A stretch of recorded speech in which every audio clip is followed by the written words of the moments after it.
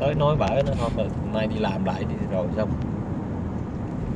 Chứ không phải là dọn về, về quê mấy năm trước rồi.